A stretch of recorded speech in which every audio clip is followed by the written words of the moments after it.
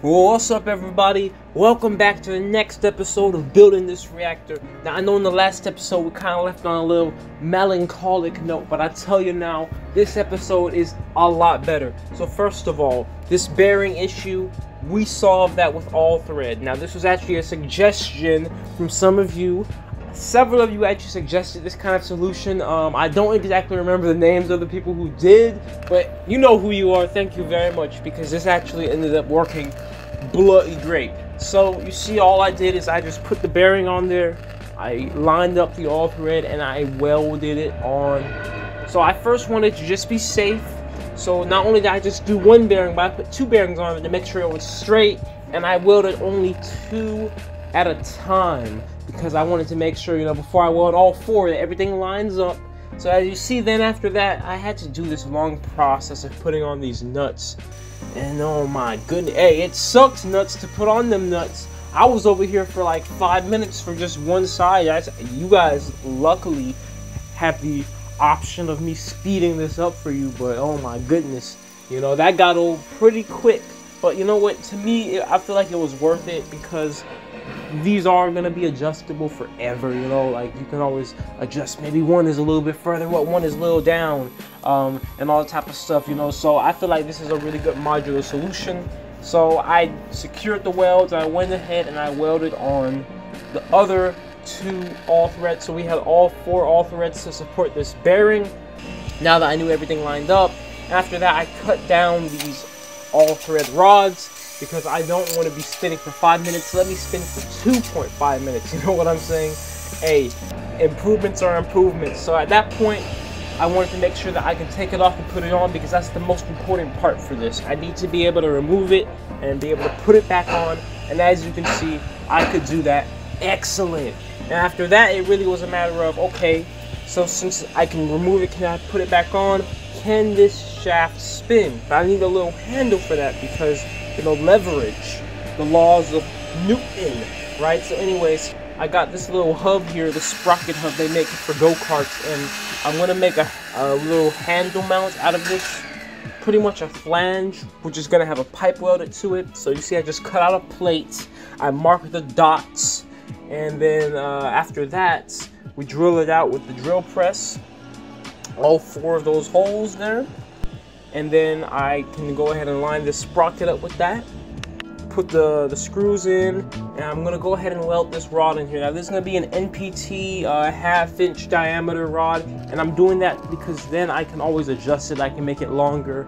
I can you know um, keep it shorter or I, I can add whatever attachment I want on the other end and I just ended up tacking it to there for now in a way like kind of like a secure tack just because I wasn't sure um, if I wanted to move this rod later on or something, or if I need to cut it off. Anyways, got it on there, and let's see how it works. It does spin.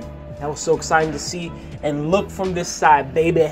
There we go. we got them blades spinning. I mean, come on now. Like, this was so exciting to see because from last episode, like that this was just what all I wanted at the end of the day. I just want these blades spinning in there. That's the whole function of this reactor. That's the number one thing that makes this reactor different.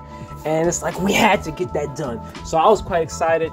And at that point, you know, since I knew I didn't need the plasma torch anymore or anything, it was time to move this to my house, my backyard um, and finish it over there because you know my work productivity goes up like 300% when I could be listening to my own music when I'm doing my work. So I have these little uh, brackets from a shelf here that I want to make the legs out of. Now they have these rivets on them. I know what you're thinking.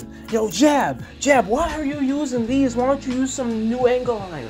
Well, first of all, I already have these laying around, so that's free. And second of all, I'm on a limited budget, and they're free. So I want to use whatever I can use to make this work, okay? Um, because especially for something like the legs, like as long as it holds it up, like that's all that we really need at the end of the day. So I went ahead, ground up all those rivets, and I welded it all together. Now, you guys have the convenience of me cutting out like like half the footage, but almost everything that you guys see in this video has taken me like all day to do like so this video like has been shot over like five days because like even lining up the legs alone and making sure they were all square and even and the same height and level like that that took me hours but because I'm really taking my time, you know. That's the thing. Another thing about me being home, like I really can take my time on stuff because I don't feel like, oh, I gotta do this before before um before the shop closes. You know what I'm saying? But when I'm at home, you know, I really can be out here from from dusk till dawn up in here, you know. So, anyways, I went ahead. I welded all that good stuff on there. I welded some crossbars too, because it was a little shaky, a little wobbly, wobbly, you know. Um, and we don't want that because especially when we have giant blades spinning in there like it's Naruto or something like come on we definitely got to make sure this thing is supported I also was thinking maybe long term maybe I want to put some little wheels on this thing at the base so that way it's easier to move but anyways as you can see it looks pretty good. Um I made sure them things were the same you know? So it, it looks really good in my opinion. And that's where we're gonna go on to the next step which actually the next step will be making sure that now that we have this um up elevated, we gotta make sure that these blades and the, the augers still, you know, can go in well and it can support the weights and support it spinning. Because like like I said before, that's the whole function of this reactor, you know. If, if so if that doesn't work, then there's no point in anything else in this reactor. So we go ahead, push the auger through, it does line up still. That's great. Gotta make sure the bearing still lines up. It was giving me a little bit more trouble to line it up. You can see one of those all thread rods is like off, but you know, honestly, if it still goes on, that's all I care about. I'm not trying to be perfect with this reactor. I'm just trying to make it work, you know. And, and to everybody asking, you know, a lot of people do ask me, um, like, get, can, can, can we get measurements? You know, can we um get all this stuff? And I'm, I'm like, well, this right now is just like my first time doing this. I don't even know if this one is gonna work, guys. Like, it's it's it's a, a hypothesis that this is even going to work. So so for this one, I'm not sharing all that information, the measurements and all. I'm really just like we're on a journey together, guys. Like everything you're seeing here, I'm doing for the first time. Doing okay, maybe not the first time, but you know, like you, you get the point I'm trying to say, right? Like we don't know but once i can confirm that this one works and this design is great and all that type of stuff I'm gonna make a tutorial, a really, really in-depth, good tutorial. I'm gonna write books, all the type of stuff like, you know, so don't worry about that. It's just that right now, I don't want to leave anybody astray and tell you, yo, build this reactor. I don't even know if it works, and then it maybe ends up being like the worst one or something. I doubt that's the case, but yeah. Anyway, let me stop talking. As you can see, um, I need to go ahead and weld this pipe on here because this pipe is going to be the feed ports. So, that being said, mark it, go ahead, cut it out. And after it's cut out, line it up on there.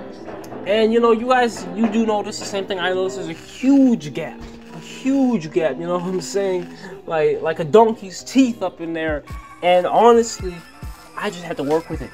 And I just want, I'm saying this to let you guys know, it is completely possible to weld huge gaps, even on thin metal like this, okay? I use spray arc, uh, 0.35, 035 wire, and if you just, as long as you concentrate your heat on the thickest metal, so I concentrated all my heat on the, the thick pipe, you can do it, guys. I don't care what anybody says. You can do it. You can make a good weld. So after that, we got the pipe on there. Now it's time to design these waveguides, okay? So to anybody new, the waveguide is almost like a barrel for the microwaves to travel down because this thing will be heated through microwaves, the plastic we put in there. So with that being said, I had I got this little piece of sheet metal, go went ahead grounded all that rust off. Just you know, we gotta make it look pretty as pretty as possible, you know. So after that, I, I started to cut out all this stuff, and I, I started with the circular saw, the steel saw, but it was too thick. Like the cuts were all, like too thick, so I need to use a jigsaw. And once again, guys, I'm telling you, it looks like I did this in like two minutes. It took me literally a whole day to do all this. But I got all these nice pieces of metal, cut out all these little shimmy shimmies, and let me explain to you guys these magnetrons. So you can see there's two different types of magnetrons. They're really the same, but they have a different mounting system. So one mounting system extends out wider than the other. Um, this magnetron on my left has the wider one. The right magnetron has a shorter uh, mounting system. We want our mounting system to be universal, meaning it can fit both ones. So we got to drill a total of four holes that match both of them, as well as the actual hole for that little um, the main part of the magnetron to go in. It'll all make sense in a second, you know, later on. But anyways, that's what I did with some of that metal the, the parts that needed holes, I went ahead and I did that. And now we're going to weld the actual waveguide together. Now, this is something that I do have experience with because every single microwave reactor I've built, I have had to design waveguides. So I've done this many, many times. And um, the number one thing to me is, you know, my metal never fits up perfectly, but as long as you get it 90 degrees, um, a consistent height and consistent width every time, you know, all these little other imperfections, you can just cover up with your weld, um, honestly, and then you grind it down and then you just do that over and over again. And you, you know, I do airtight welds on this because we want this airtight. We don't want anything leaking, so that's why I do grind down my welds to make sure there's no holes or pinholes or porosity and all those type of holes. We don't want any of those holes in here. So anyways, we got the first waveguide done, and this waveguide is going to be the one that gets welded into there, almost like a weld-on flange, just going to get welded into the reactor itself. So I went, ahead, I went ahead and I cut out a little square uh, with my um, my angle grinder. And once that was done, pretty much, it's just a matter of, you see, um, lining this thing up. Now, I did want to show you guys this because it was really cool. When I cut out that square, we can see the blades in there spinning, you know, from a side view. And this reminds me, I actually want to build a little side window in here, like, like kind of, it's gonna look like this waveguide flange almost, but yeah, I, I want to build a window because that'll be so cool, like for footage and stuff to like see stuff as it breaks down. But anyway, I line this up, I go ahead, weld it on there, you know, um, and this is pretty much the same as welding all this other stuff on the thin metal. I will say this, it does take some skill to weld this thin metal, especially when there's gaps. It does take some skill, I'll be honest. So next, I need to weld the next waveguide um, and this is going to be the waveguide where the magnetron is mounted. So there is a difference. Like the first waveguide was more of a mount. This is more of like the actual waveguide where the, the magnetron, the thing that produces microwaves, will be mounted and it'll shoot down in here and it'll, it'll cause it to funnel where it needs to go. So you can see that's why we have that hole at the top because that's where the magnetron will, will mount in. So anyways, with that being said, it was really the same process as the other one, um, but this one is closed at the back. Um, and of course, this type of stuff I will leave measurements for when I really, um, you know, do this stuff for real. So as we see, I have it done, and I wanted to make sure that all these holes lined up, which they did, because you see how that works. This, this one's gonna mount onto the one that we welded onto the reactor. And I want to show you guys, we have the magnetron here, and as you see, that little, I don't even know what you want to call it, the antenna slides into that hole. That's where the microwaves shoot out and then boom, they come out here. So at that point, all I had to do was really just make sure that it lined up, make sure it fit on there as you see it did. And at that point, I mean, we pretty much were done with the waveguide. Like I said, it took me like almost two days to get to this point, but you know, we have the footage to make it down to two minutes. So at this point, uh, as you see, everything lines up really well. And I was like, man, I want to just give this thing a little test run now. Just see how it works. The microwaves go in there. You know, are they going to arc off of the auger blades? Because those auger blades are really imperfect. Are we going to have tons of issues? So I said, screw it. Let's go turn it on. And, and just watch and learn, guys. Oh yeah, I did put a little bit of plastic in here, by the way. Yup, that's right. We got the yo the plastic is breaking down in there guys. And guess what? I turned these blades and i mean it's still working like it's not arcing it's not causing all types of problems. The microwaves are going in there and breaking down the plastic and this is just with one magnetron we're gonna have six of these guys on we're gonna have six of these holes on there six anyways you guys take care leave your suggestions. Thank you all so much for watching. Peace out.